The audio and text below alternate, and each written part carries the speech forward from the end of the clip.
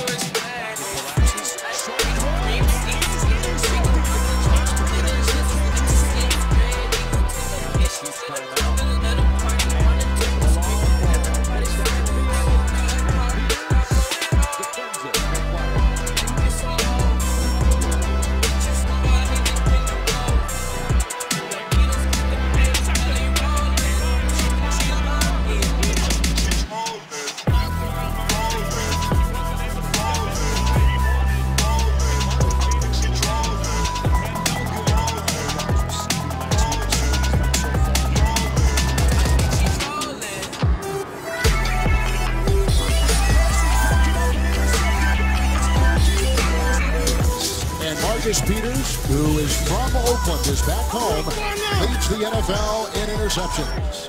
First and 10. Derek Carr, blocked by Penn. Oh, and he's got his receiver, but it was underthrown, and Peters is